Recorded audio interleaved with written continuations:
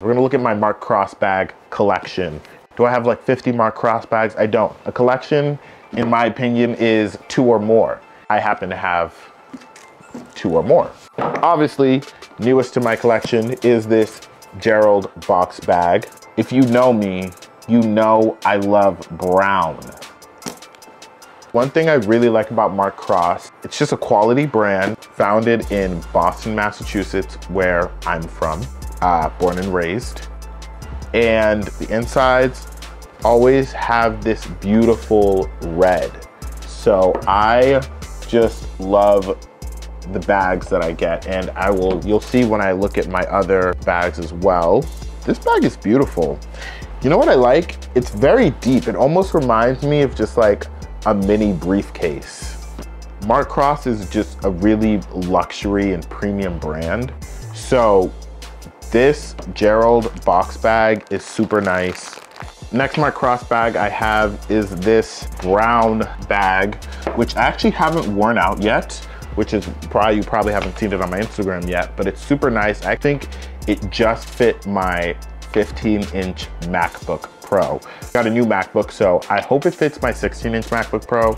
I wish it had a strap that I could strap onto it. This is the second one. Third is denim patchwork bag. This is the Sidney tote.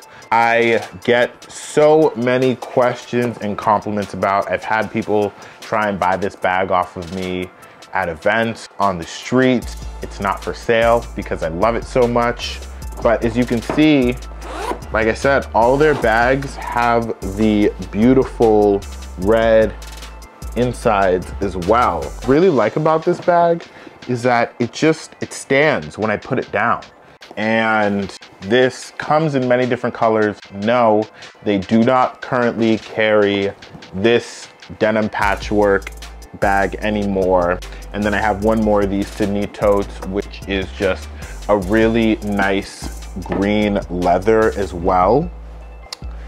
Like I said, same red interior on this one.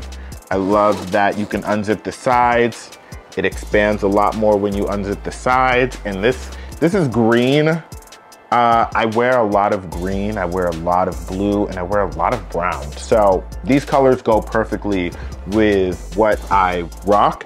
And I think the only thing that I'm missing from Mark Cross, and if Mark Cross is watching this, I'm missing their Sidney tote in brown leather. Um, that's probably the only bag that I'm missing. They have a lot of other bags I want, but the this tote in brown leather would complete my Mark Cross bag collection. But those are all the Mark Cross bags that I currently have. Thank you, Mark Cross, for sending me this box bag to add to my collection. And I will be rocking it. Wait for the pictures coming soon.